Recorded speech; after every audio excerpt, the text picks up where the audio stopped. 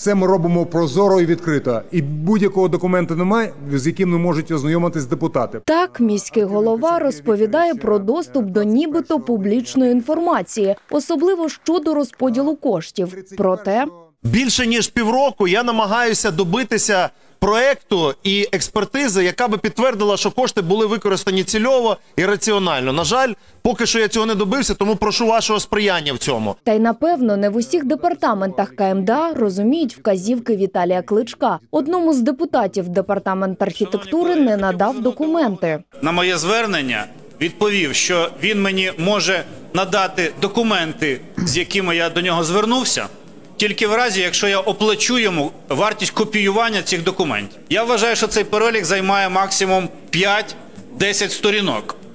І е, ніяко, ніякої вартості копіювання особливого воно не коштує.